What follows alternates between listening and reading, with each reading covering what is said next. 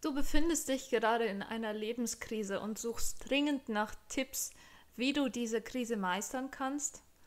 Dann schau dir dieses Video an. In diesem Video werde ich dir die Geschichte von einer prominenten Persönlichkeit erzählen, die sich vor ihrem Durchbruch ebenfalls in einer großen Krise befunden hat. Außerdem werde ich dir drei Tipps mit an die Hand geben, die dir helfen werden, besser durch die Krise zu kommen. Schau dir dieses Video deshalb unbedingt bis zum Ende an.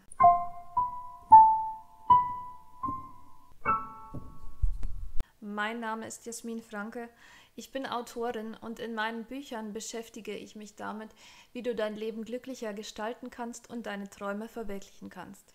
Die prominente Persönlichkeit, von der ich dir heute erzählen möchte, ist die Bestseller-Autorin J.K. Rowling. Falls dir der Name noch nicht sagt, J.K. Rowling ist die Bestseller-Autorin von Harry Potter.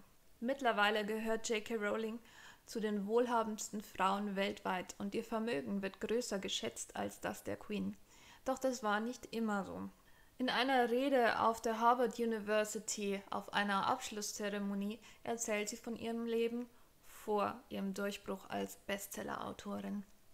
Sie beschreibt die Zeit damals als die dunkelste und schwierigste Phase in ihrem Leben. J.K. Rowling war zu diesem Zeitpunkt alleinerziehend. Ihre Ehe war nach nur einem Jahr in die Brüche gegangen und sie war zudem arbeitslos und konnte sich kaum die Miete leisten. Und obwohl diese Zeit so schwierig für sie war, beschreibt sie sie im Rückblick als die befreiendste Erfahrung, die sie gemacht hat. Warum? Sie hatte alles verloren und trotzdem war sie noch am Leben. Sie hatte eine Tochter, die sie über alles liebte und eine Schreibmaschine. Und somit konnte sie das machen, was sie am allerliebsten machte, nämlich schreiben. In dieser Zeit schrieb sie ihre heute so erfolgreichen Bücher. Als ob diese Geschichte nicht schon erstaunlich genug wäre, kam hinzu, dass J.K. Rowling von zahlreichen Verlagen zunächst abgelehnt wurde. Ich konnte nicht genau herausfinden, wie oft das Skript zu Harry Potter abgelehnt wurde, bevor sie schließlich doch einen Verlag fand, der das Kinderbuch veröffentlicht hat. Im Internet findet man mal die Zahl 12, mal die Zahl 17, mal die Zahl 19.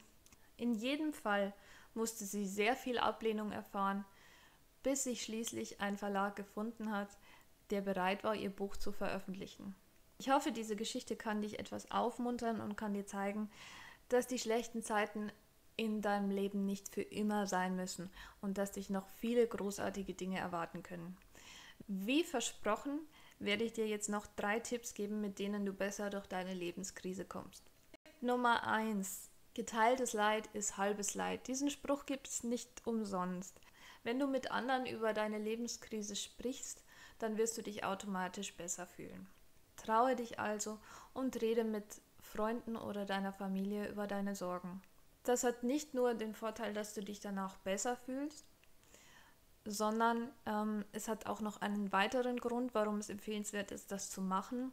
Denn wir alle sind sehr eingeschränkt in unserer Sichtweise. Wir haben unsere eigenen Erfahrungen und unsere eigene Sicht auf die Dinge und manchmal sehen wir den Wald vor lauter Bäumen nicht.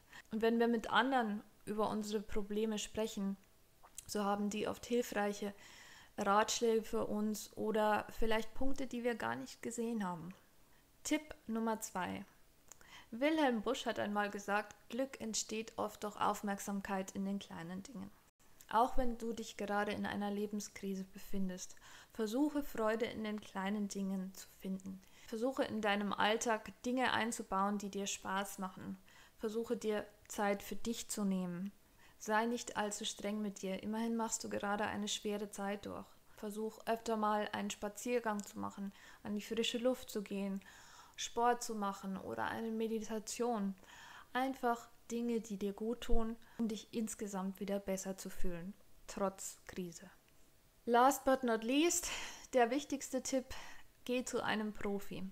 Wenn du, wenn du absolut keinen Ausweg siehst, wenn du depressiv bist oder dir nicht mehr zu helfen weißt, dann geh zu einem Profi. Hab keine Scheu, hab keine Hemmungen.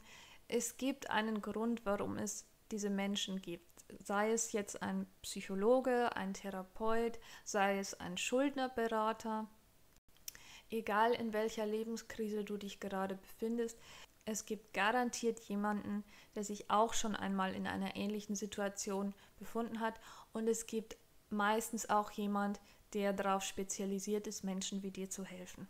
Wenn du nicht weiter weißt, dann lass dir helfen. Du verdienst es, dass es dir gut geht in deinem Leben. Und wenn du allein momentan dazu nicht in der Lage bist, weil die Umstände zu schwierig sind oder aus welchen Gründen auch immer, dann such dir Hilfe. Zum Schluss noch eine Anmerkung in eigener Sache. Wenn dir dieses Video gefallen hat, würde ich mich sehr freuen, wenn du mir ein Like da lässt oder meinen Kanal abonnierst. Und ähm, um dir die Möglichkeit zu geben, im Alltag ein paar kleine Glücksmomente mehr zu erleben, kannst du dir gerne auf meiner Homepage jasminfranke.com ein kostenloses E-Book zum Thema Achtsamkeit herunterladen. Alles Liebe, deine Jasmin.